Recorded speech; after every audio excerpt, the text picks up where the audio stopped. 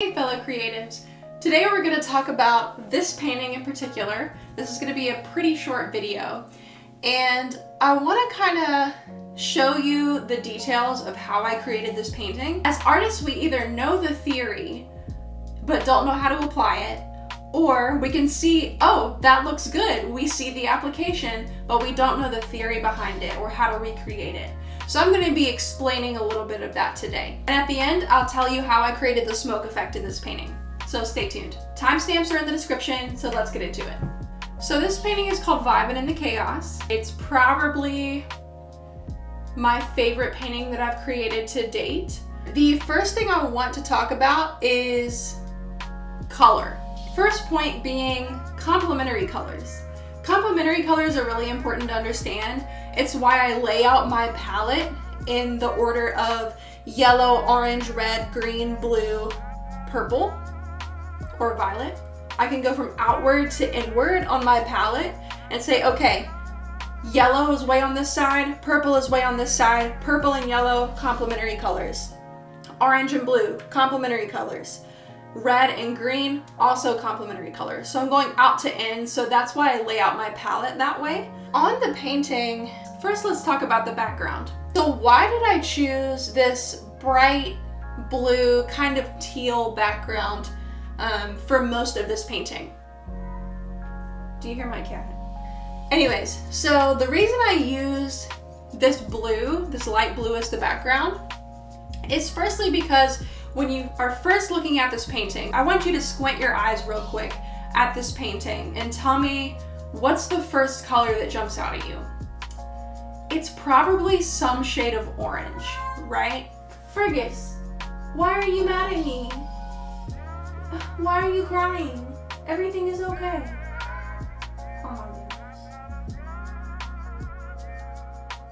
We have a lot of orange down here in his cloak. We have a lot of orange on his hat.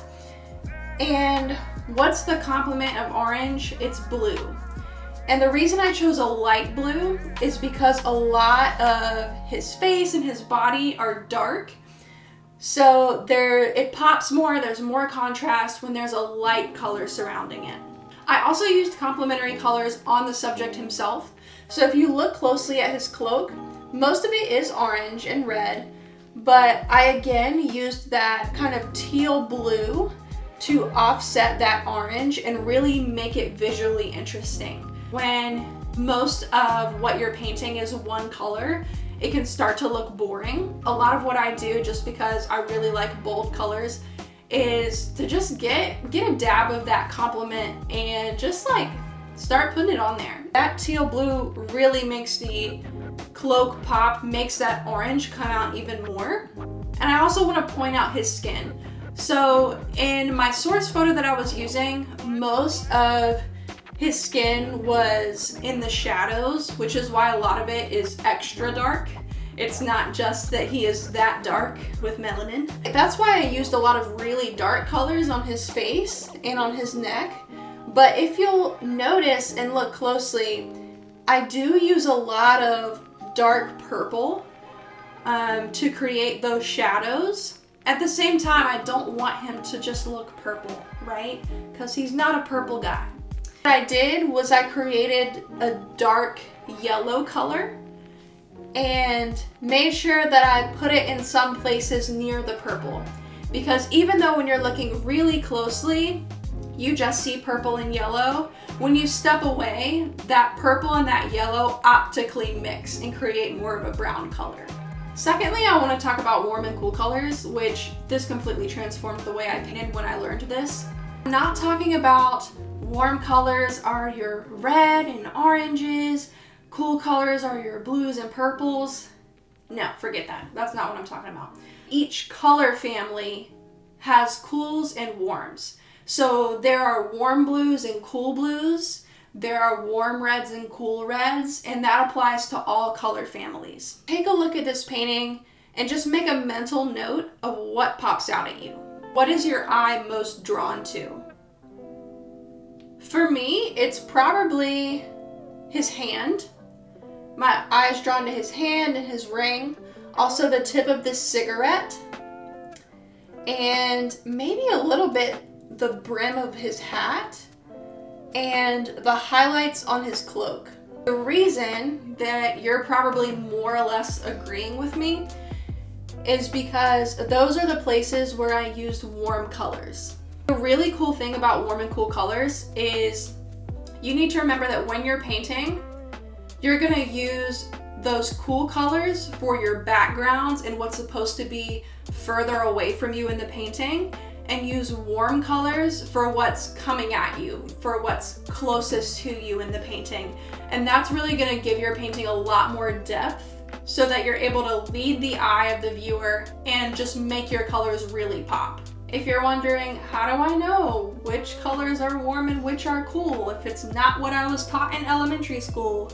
Oh no. I am going to link a chart that I made down below with some common painting colors and whether they are warm and cool.